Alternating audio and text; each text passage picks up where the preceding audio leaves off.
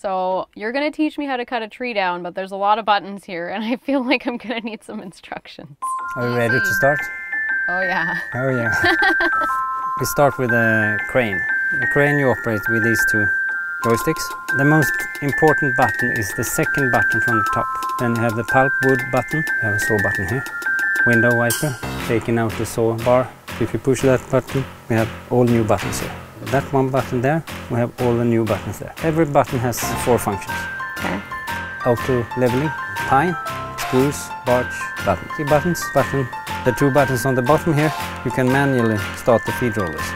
We're gonna get the tree down. Let's do it. Now you shall maneuver the crane towards the tree. No, Oh, wrong for me. That, Okay, okay, okay, okay. take that joystick. Okay. That's just right. Now we shall try that one. Have the tree. I have the tree. Now it's ready to be cut. Are you ready? I think so. Big tree. Okay. Oh it go. my goodness. I cut a tree down. Yeah. And now we pull it towards that side. Your first tree with a harvester. Wow.